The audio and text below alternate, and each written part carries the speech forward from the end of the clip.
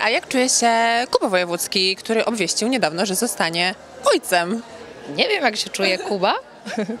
Mogę go spytać w sobotę, widzimy się, a nie, w środę. Spytam go w środę. A ty w ogóle miałaś przyjemność e, poznać jego dziewczynę, mamę jego dziecka? Bywa na planie, czy nie? Tak, przyjaźnimy się. Nie, nie znam jej w ogóle. Wszystkich bardzo Kuba zaskoczył tym swoim wyznaniem, zresztą na kanapie Dzień Dobry TVN, mówiąc, że chciał to, tego newsa powiedzieć w programie no, plotkarskim, e, aby się rozniósł, więc no chyba efekt zamierzony, skoro dzisiaj o nim rozmawiamy. Przynajmniej ja ciebie o niego pytam. To jest cały Kuba. Kuba na kanapie Dzień Dobry TVN oznajmiający, że spodziewa się dziecka. 100% Kuby w Kubie.